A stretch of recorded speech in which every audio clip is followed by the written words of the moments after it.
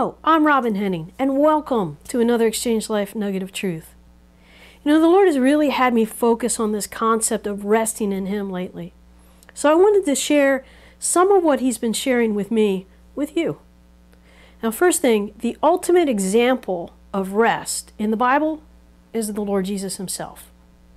In 1 Peter chapter 2, verse 23, we are told that while he was on trial before the religious leaders, before Pilate, before Herod, he didn't defend himself, but rather he kept entrusting himself to him who judges righteously.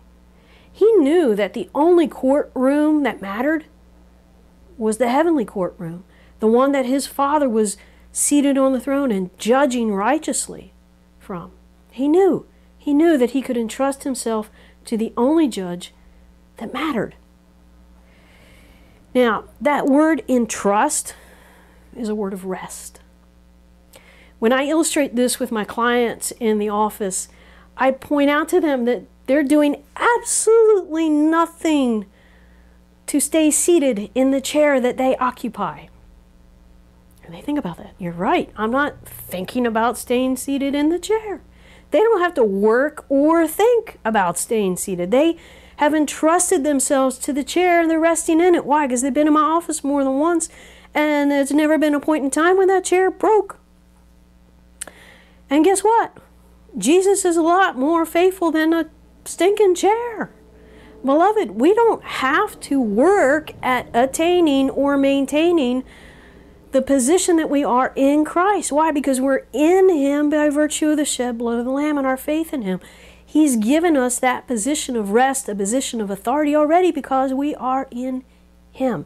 He is seated at the right hand of the Father in a position of rest and authority. Guess what? We're in Him. Therefore, we are seated in that position too. How do we experience that? Ah, by faith, beloved, because guess what? Jesus calls to us, He says, Look, Come to me, all who are what? Weary and heavy laden.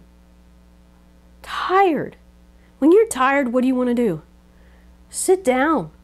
Heavy laden, what do you want to do? Unburden yourself. You want to drop your burden, right? So Jesus is saying, Come to me, take a seat, hand over your burdens. I'm going to give you in exchange for your burdens rest. Rest for your weary souls. And again, what hinders us from that experience is one thing, beloved it's unbelief.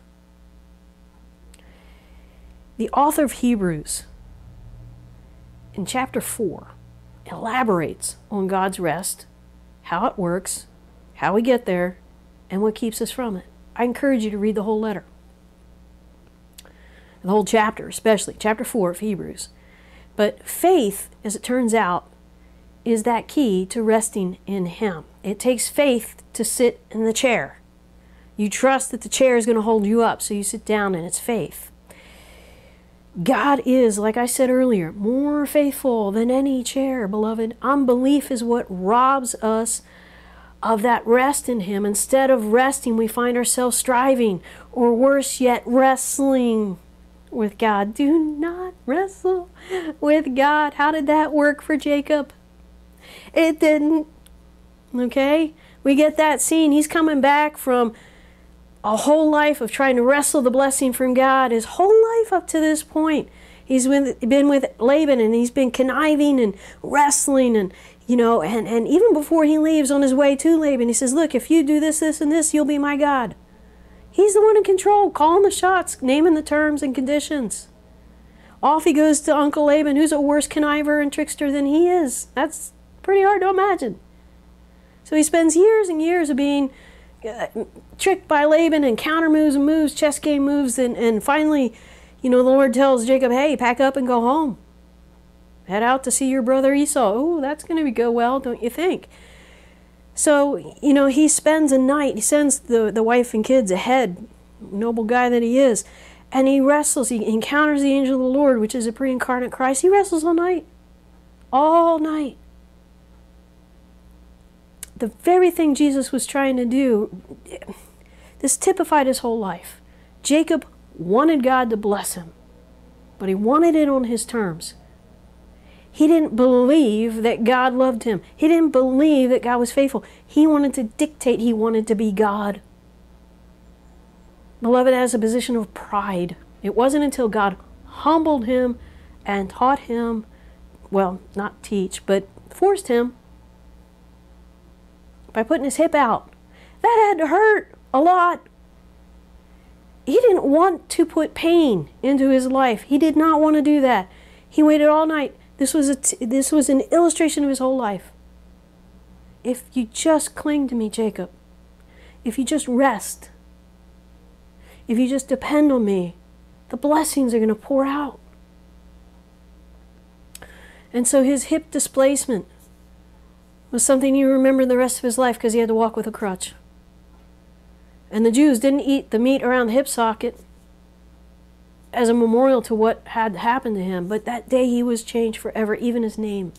His name goes from being Jacob, the heel catcher, the deceiver, the one who trips someone up, to Israel, Prince of God.